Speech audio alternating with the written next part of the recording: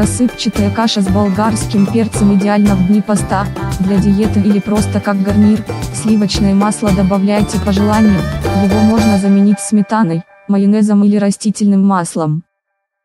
Так вы гречку еще не готовили, а очень зря. Каша получается ароматной и вкусной, очень сочной.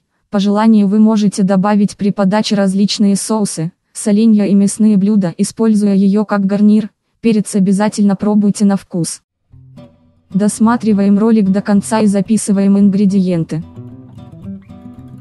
Подготовьте указанные ингредиенты.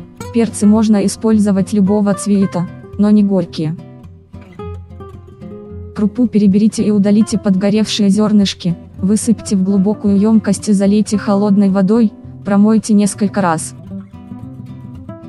Высыпьте промытую крупу в кастрюлю и добавьте соль, можно всыпать различные приправы и специи по вкусу, например, приправу к мясу или овощную, влейте теплую воду и отварите примерно 15 минут.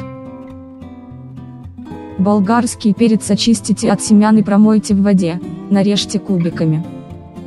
Подписывайтесь, комментируйте, ставьте лайк или дизлайк. Как только крупа набухнет, Добавьте нарезку перца в кастрюлю и перемешайте, отварите еще 5 минут. Добавьте сливочное масло или замените его растительным, если готовите блюдо в пост. Протомите буквально минуту и выключите нагрев, накройте емкость крышкой и дайте крупе пропариться 5 минут под крышкой.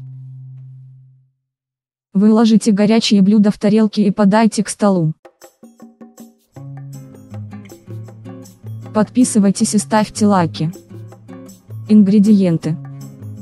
Гречневая крупа, 150 грамм, вода горячая, 400 миллилитров, перец болгарский, 3 штуки, разных цветов, соль, 3 щепотки, масло сливочное, 40 грамм, по желанию, количество порций, 1-2. Подписывайтесь, комментируйте, ставьте палец вверх, и спасибо за просмотр.